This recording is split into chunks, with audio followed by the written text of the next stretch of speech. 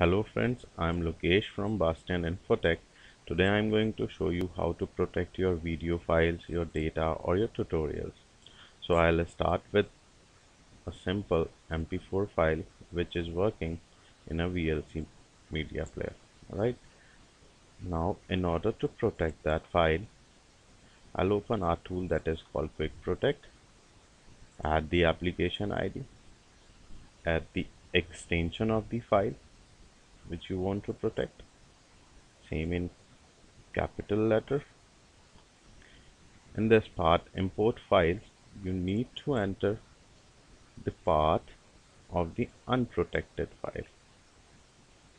In this second step you just need to enter the path of the protected files. And it says all files protected.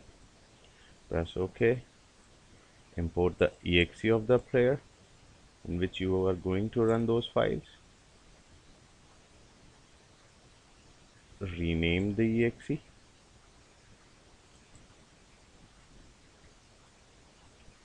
It says file successfully protected. Now if I'm going to run this protected file in original exe it is not going to run now in order to run that protected file I need that exe. And it says AG no license because I have not connected my dongle. I'm just going to plug in that.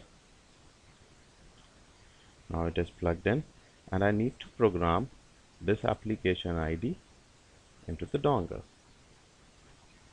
license update file created this license file is move into the dongle. Now I'm going to run this. Now it is running. Add the protected file. It's under the user desktop. See it is running.